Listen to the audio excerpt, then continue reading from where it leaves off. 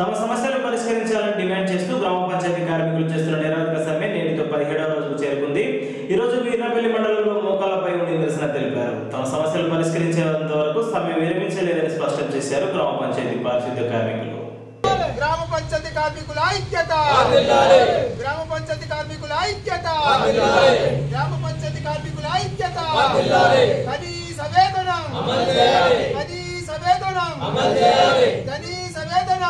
CITU CITU పెళ్ళి గ్రామ పంచాయతీ కార్మికుల నిరోధక సమ్మె పదిహేడు రోజుకు చేరుకుంది.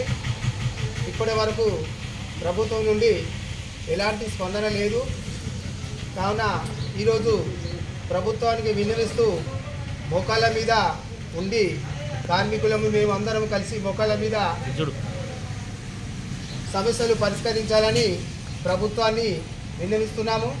కాబట్టి ఈరోజు ప్రభుత్వం చర్చలకు పిలవడం జరిగింది. కాబట్టి ఈరోజు చర్చలు సఫలం కావాలని మేము మా కార్మికుల తరఫున వీర్నపల్లి మండల శాఖ నుంచి మేము ప్రభుత్వాన్ని కోరుతున్నాము. మా సమస్యలను ఈరోజు చర్చల ద్వారా మొత్తం మా న్యాయమైన డిమాండ్లను నెరవేరుస్తారని మేము అందరము ఆశిస్తున్నాము. కాబట్టి ప్రభుత్వం ఇప్పటికైనా ఈ రోజు వరకు పదిహేడు రోజుకు చేరుకుంది.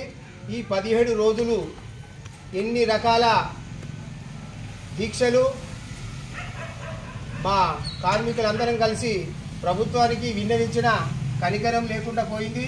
కాబట్టి ఈ రోజైనా చర్చల్లో మా సమస్యలను న్యాయమైన డిమాండ్లను నెరవేరుస్తారని మేము ఆశిస్తున్నాము. కాబట్టి పదిహేడు రోజులు పదిహేడు రోజులు గ్రామాల్లో ఎక్కడి చెత్త అక్కడ పేరుకుపోయింది.